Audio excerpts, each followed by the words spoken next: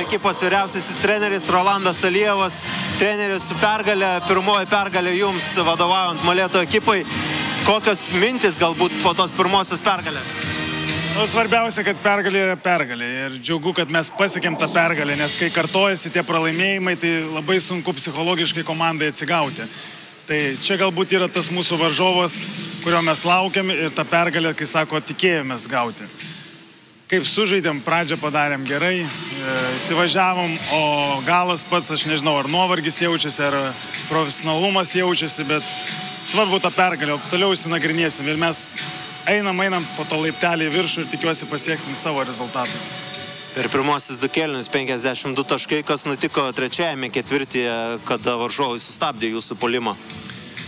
Tai va čia klausimas, žinot, žiūrint kaip, ar nuovargis žaidėjų yra, galbūt agresyvumas baigėsi, nes daugiau klaidų pradėjom daryti, praleisti tos varžovus. e, Neskaitau, kad mūsų polimas kažkur sustoja, agresyvumas gal sakyčiau sustoja labiau.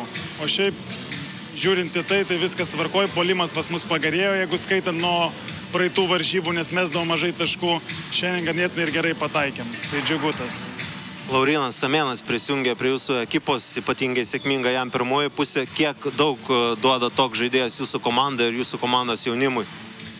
Žinot, kai lipdėm komandą nuo pradžių, tai atrodo, norisi jaunimui suteikti šansą pasirodyti ir kad jie tobulėtų. Bet šitoj lygoj, kai aš pastebėjau, nacionaliniai lygoj daugiau propaguoja tas vyresnio amžiaus kultas. Ir mums trūksta to, trūksta patirties, kai kur sustot, kai kur nuramint, kai kur teisingą metimą išmesti, tai jis mums tikrai dadėjo ir dadeda ir tą mes tą matosi per, per varžybą žiūrint.